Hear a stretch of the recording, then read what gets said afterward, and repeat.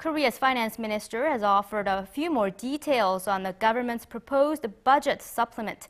Although he declined to comment on the exact amount, he did say he wants the budget passed by the end of the month and outlined a few areas of priority. Our Kim Han-ul has more. Finance Minister Hyun Oh-seok says the government will submit a proposal for a budget supplement to the National Assembly next week, containing details about the size and method of allocation, with the goal of getting the bill passed by the end of the month. During a meeting of economy-related ministers on Wednesday, the finance minister said that supplementing the state budget is inevitable given the current economic circumstances.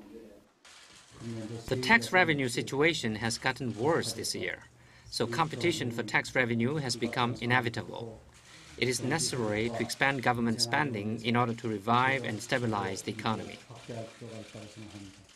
The finance minister added that the first priority should be to improve the distribution chains for fresh produce and support entrepreneurship.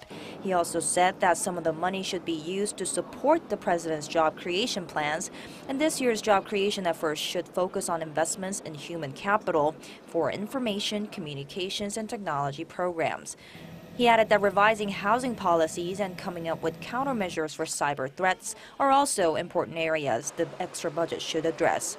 Although the exact figure is yet to be announced, government officials previously indicated that the extra budget could amount to 17 trillion won, or roughly 15 billion US dollars. If approved, this would be the second largest budget supplement passed since the 2008 financial crisis. Kim Han-ul, Arirang News.